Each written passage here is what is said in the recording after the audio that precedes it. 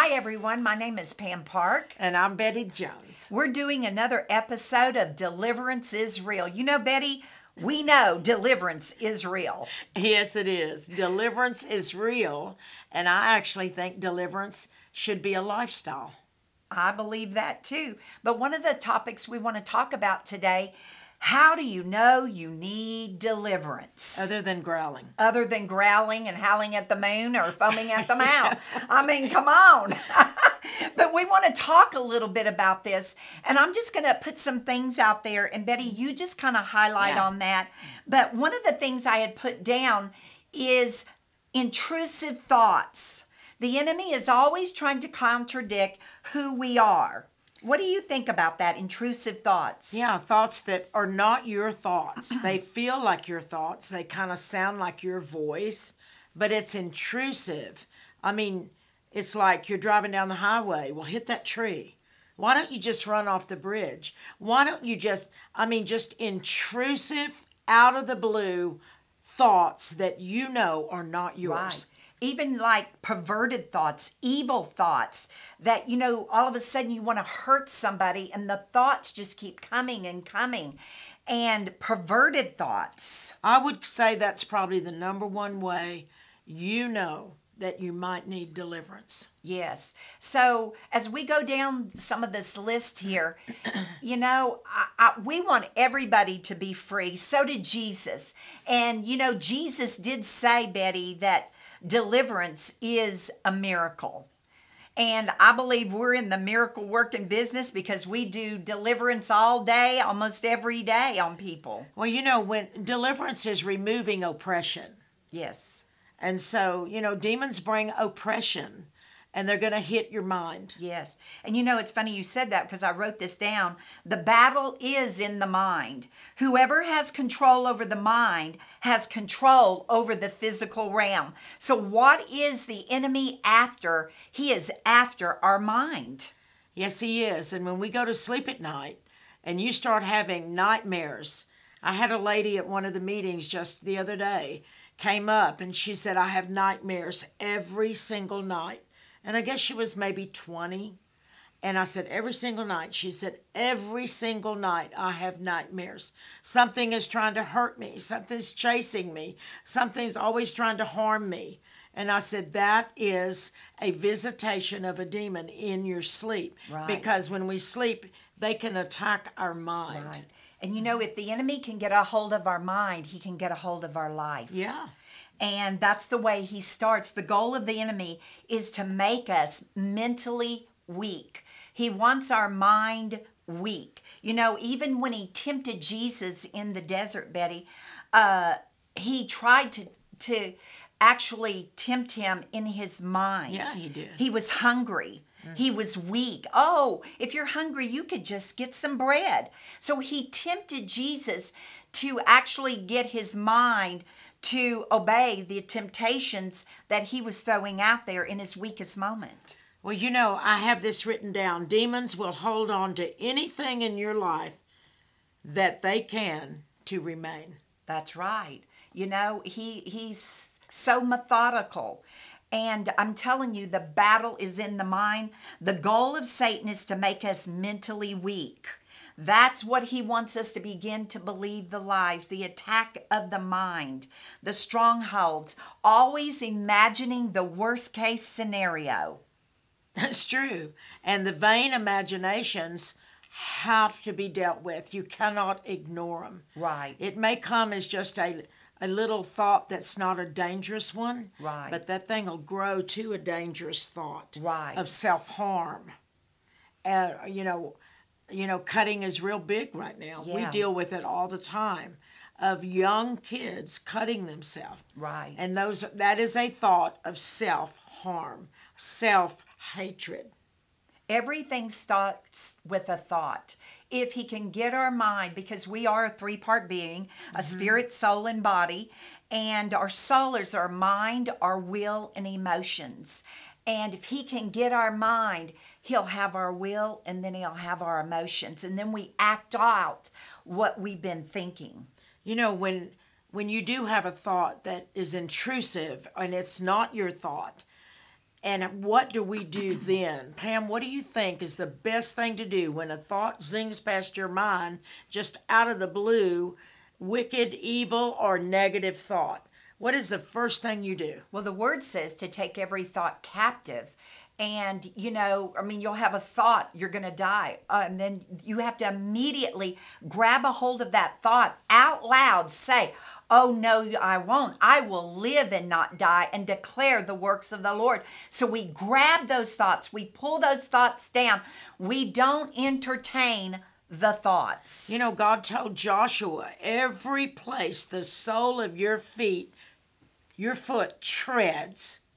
So when you're taking captive that thought, you are treading on that thought. Right. You are saying, no, that is not my thought.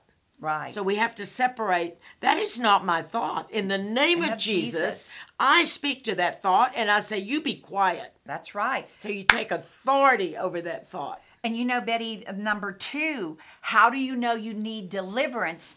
Paranormal things happening around you, Yeah. in your house, just things that begin to happen. What, what do you think? Paranormal things like you're talking about drawers opening, doors opening, orb lights floating around. You think you see something scurrying across the, yeah. the rug? Okay. Something laying on you at night. Yeah, Uh, yeah. Explain that because that's really big right now. We deal with it a lot. It's really big right now because uh, we hear so much every day about people that they feel like something's laying on top of them. Um, they have sexual dreams Yeah. where they're actually being attacked sexually in their dreams. Um, the big thing is sleep paralysis. And as we say, that is a demonic visitation. yes, it is. You know, and, and I wrote this down. Demons uh, have supernatural ability, but so do we.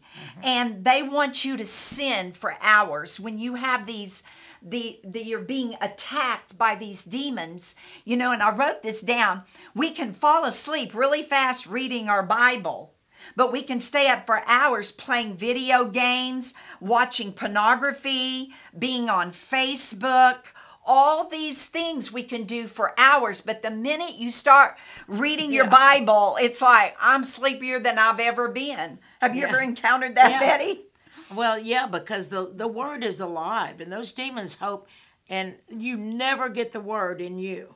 Yeah, you can be in the word, but the word better be in you. That's right. It's not about just reading the word every day and how many chapters. That this right here has to get in us. Us. Because how did Jesus confront Satan in the wilderness? It it is is written. It is written. The third time, God said. so we better know how to say, God said, no, that is not my thought. Yeah. You loose your hold on my mind right now. And Betty, he was at his weakest moment 40 days of no food, out there by himself, lonely. I mean, and the enemy came at the right time. But Jesus stood his ground. Man does not live by bread alone, but every word that proceeds out of the mouth of God. And uh, the number three thing before we close on this part, uh, you've tried everything. You've read scriptures. Uh, you've done everything you know to do. Why would you think then, Betty? Why not try casting out a demon? You were just telling me a story of somebody that was telling you some things going on in their life, and you said you have a demon, and they said, "Really?" Yeah. It was just a man that came to me and he was battling this and he said, I've done everything. I have tried this and I have tried that and I've tried this. He said, I don't want to live this way anymore and I don't know what to do. And somebody said, Why don't you call and make a session? So he made an appointment immediately. It didn't take five minutes talking to him. Mm-hmm. And you realize this was a dark entity, a disembodied spirit. And you know, demons have to have a door to come through, and that can be an ancestral door.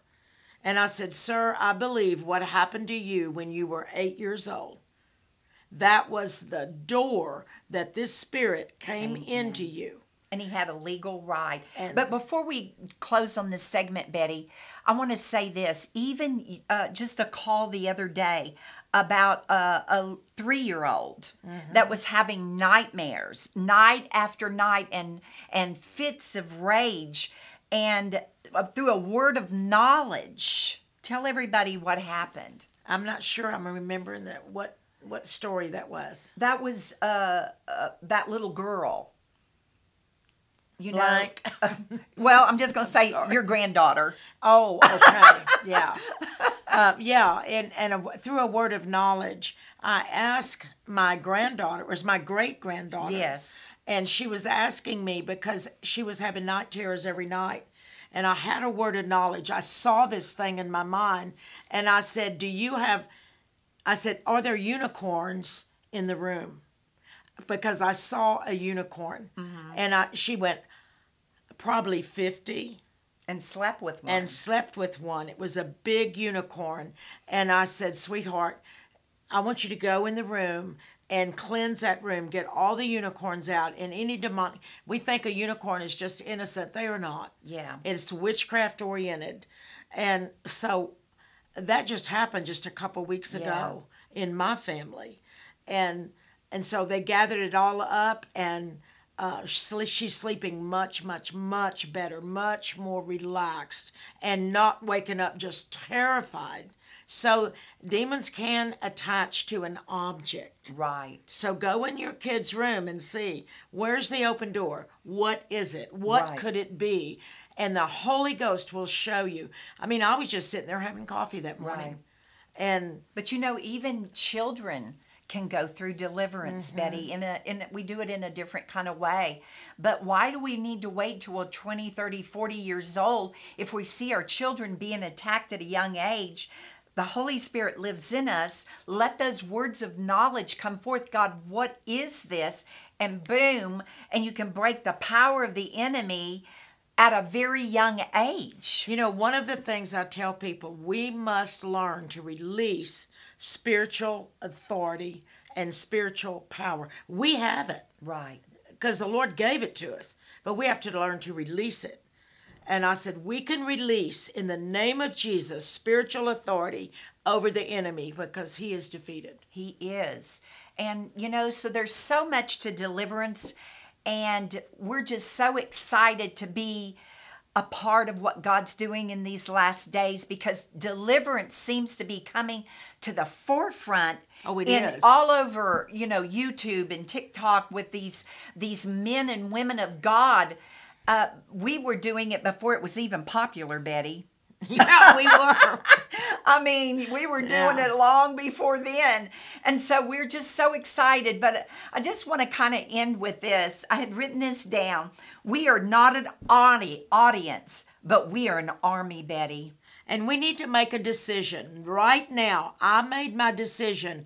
I am not living bound. Right. I'm Years be ago, free. I'm going to be free, and I had to go through deliverance. I needed deliverance. You know, spirit of murder was one of the first demons that came out of me, and I wasn't living like that. I wasn't living in that violent rage, spinning. Uh, didn't know why I reacted the way I reacted. Right. I set my will. I repented, and I came against the enemy, and, that's called deliverance. And you know, Betty, there's nothing that any one of us as a believer has done that we cannot strip away the legal right of the enemy because Jesus died to give us that right to go into the enemy's camp and take back what he's stolen from us. Well, once we remove the permission and close the door, then we can deal with that demon. Amen. Amen. Join us for our next part two on this. It's going to be so exciting. Yes, it will. Bye bye.